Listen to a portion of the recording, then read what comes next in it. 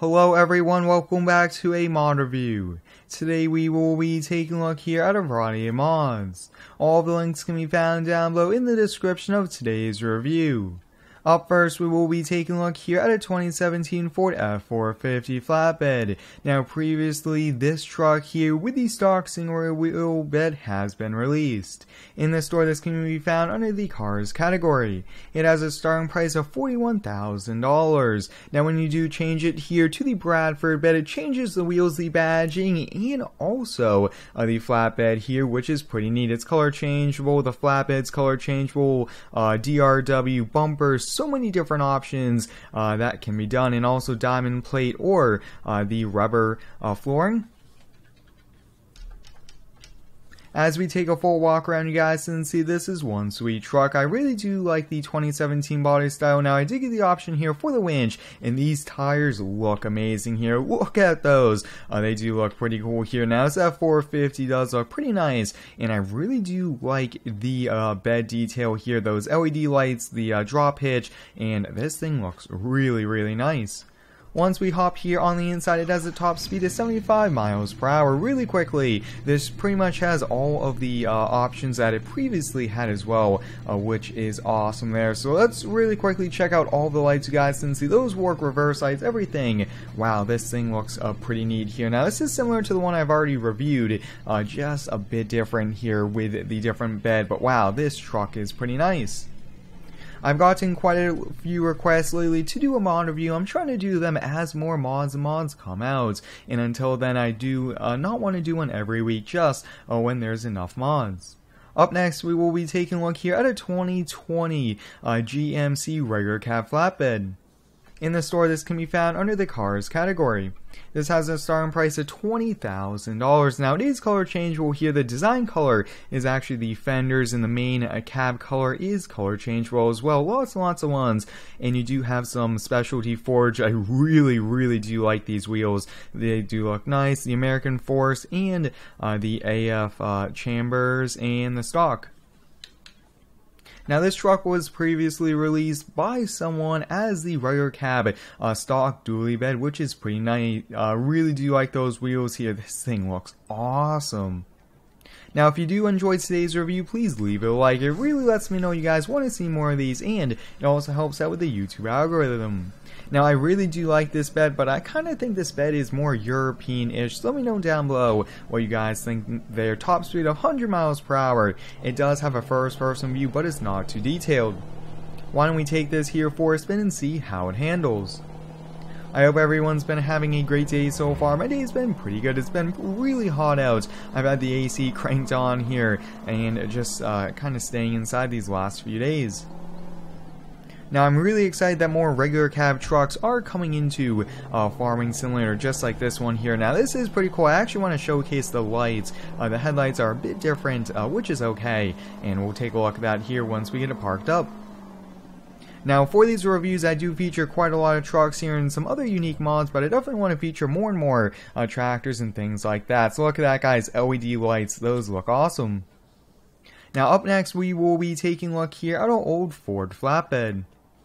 In the store can be found under the new uh, mods category here and it's a 1964 Ford T850, $8,500, and it is color changeable here. Lots of new colors, very unique colors, I will have to say as well. Some of these uh, do look nice, kind of the old-fashioned style ones, which is awesome. So you do have the default and the hitch, if you would like it as well, here in the back, and you do have a few different engine options as we take a full walk around you guys and see this looks awesome. I really do like the front end of this maybe, uh, just maybe we'll have to use this in the new farming series. Really do like the chrome toolboxes. This is in really good condition as well for an old truck like this.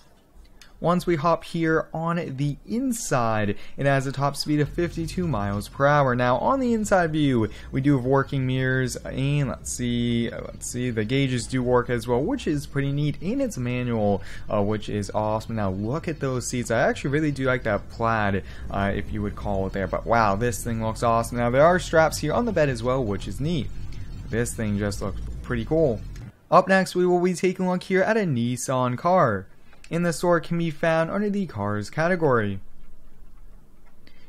It has a starting price of $17,000 here. It is color changeable and uh, there's a few different engine options and some different wheels as well. Some very unique wheels and uh, you could also change the color here if you would like. Uh, very interesting vehicle. Kind of looks to be uh, kind of the stance is what you call it. Uh, kind of looking a bit sporty, you know, very, very nice. Kind of, uh, kind of race car is probably the best way to say it. Once we hop here on the inside top speed of 155 miles per hour. Now this thing has a really fast acceleration, almost seems like it is a drift car. Yeah, pretty much seems like it's a drift car because I'm drifting uh, with the steering wheel here. Maybe, just maybe, we'll have to go drifting uh, maybe around uh, the streets, maybe late at night or on the track. Up next, we will be taking a look here at a dune buggy.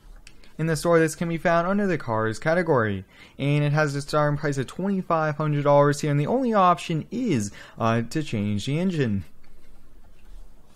As we take a full walk around, you guys can see this is pretty cool. Really do like it. It's a pretty simple design, but this thing just looks awesome. A bit more texture work could be done to it, uh, but other than that, this thing does look pretty cool. Now let's hop here on the first person view. This thing looks awesome. Look at that. Working gauges has a lot of get up and go factor, I will have to say. And looks like the suspension is pretty good on it as well. And wow, this thing is pretty neat. Really want to take this to the sand dunes and off-roading, just have some fun. Up next, we will be taking a look here at a cement truck. This can be found under the trucks category. It has a starting price of $56,000 here, no store options, and it has 420 horsepower. As we take a full walk around on you guys can see this is pretty uh, awesome. Really do like that we more and more cement trucks here in the game. Once we hop here on the inside, you guys can see top speed of 51 miles per hour. Now, one thing this does not show that it does hold cement there, but it is mouse controlled, which is pretty neat if you do want this to kind of go back and forth there. That's a neat feature, and definitely maybe for just roleplay purposes uh, to have maybe at the shop. But other than that, it won't really function. Up next, we will be taking a look here at a 4640 pack. In the store can be found under the small tractor category. And here we go. So you guys can see you do have quite a few options. Here you do have uh, the two-wheel drive, the four-wheel drive, and just a few different ones as well, just from visually as well. And they all start around $50,000 as we take a full walk around on you guys and see this is pretty sweet. Probably one of the best older tractor mods I've seen here in the game. This thing just looks awesome. So let's hop here on the inside. We'll check everything out. Beacon lights, everything like that do work here. And look at this first person view. We'll be using this on our farm. Maybe uh, this will be one of our starter uh, kind of farm tractors. I think that will be neat. But definitely one awesome, awesome looking tractor. Up next, we will be taking a look here at a smaller Deere mini excavator. This can be found under the miscellaneous category, under uh, the kind of trailer section. And it, it costs $247 here and 39 horsepower. As we take a full walk around on it, you guys can see this is pretty uh, sweet. It's a simple model, but it looks great. Once we hop here on the inside, 4 miles per hour traveling speed, and everything does work here on it. You do have the uh, blade that goes up and down, everything works. And we'll actually switch over here to the controller here for just a moment, and this thing looks awesome. I can't wait to use this coming up, and uh, same controls I have noticed as the Bobcat, and this has a big, big bucket as well for grading, which will come in handy. Up next, we will be taking a look here at an old John Deere skid steer in the store can be found under the skid loader category. Now this is the same modder making them all rustic, which is pretty awesome. Same store options as what I've previously reviewed. Let's hop on the inside here and take a quick look. I really do like the rustic look if you're doing barn find or uh, you just want to kind of buy an older uh, used piece of equipment for pretty cheap.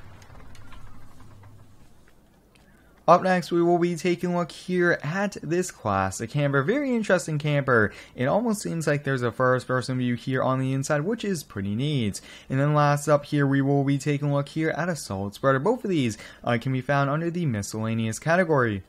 And let's take a look at the salt spreader. Let's get backed up here to it, and it should work there as we go. So there we go, guys. We got it attached. Uh, the supports come up there, and it straps down here to the bed, which is pretty neat. Now, one thing the modder did do was make it adjustable, so you could fit it in all different types of beds and heights as well. And you could also adjust the back height here, and finally, the height here on the bed, which is pretty neat. Let's kind of get it adjusted right there, and let's take a quick look. Overall, this is one pretty cool mod, and there's a few different options here. You could have it as a salt spreader, as a fertilizer spreader, so many different things, which is pretty neat. I hope everyone enjoyed today's FS19 mod review. Go check out all the links down below. Thanks for watching, stay tuned for the next one, and subscribe for more.